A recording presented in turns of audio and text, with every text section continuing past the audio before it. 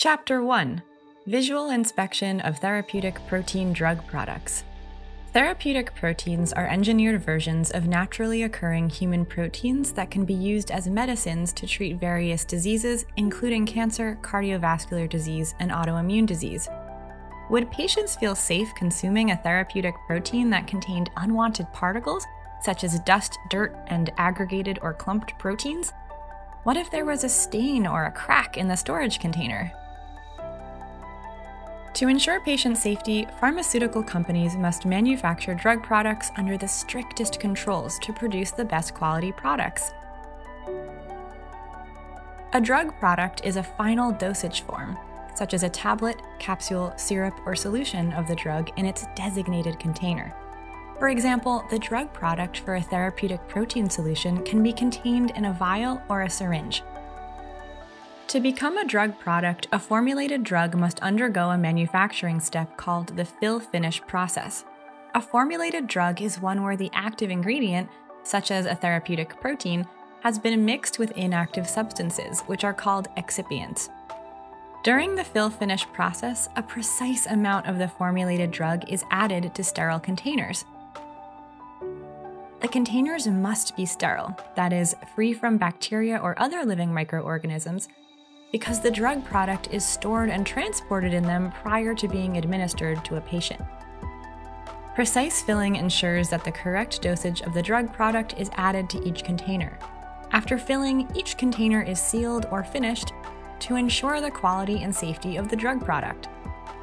Multiple tests are performed throughout the manufacture of a drug product to ensure that regulatory and quality standards are maintained at each stage of the process, one example of a drug product quality test is the visual inspection of filled containers during the fill finish process.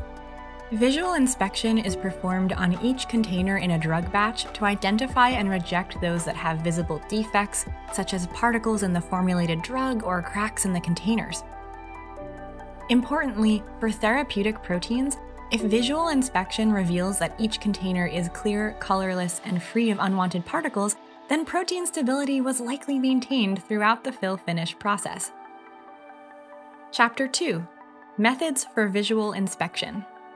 The visual inspection process is performed by using one of three methods manual inspection, semi automated inspection, or fully automated inspection. In the manual visual inspection process, a trained inspector handles each container in a controlled environment that has the appropriate light and background to increase contrast. Such an environment is important because the inspector will manually rotate the container to view all of its surfaces in order to reveal defects such as particles, stains, or cracks. Based on their inspection, the inspector will make the decision to accept or reject the container. In the semi-automated visual inspection process, a trained inspector is assisted by automated equipment. The automated equipment presents each container to the inspector. The inspection environment must have the appropriate light and background to increase contrast. The equipment is programmed to rotate the container, which allows the inspector to view all of the container surfaces in order to reveal defects.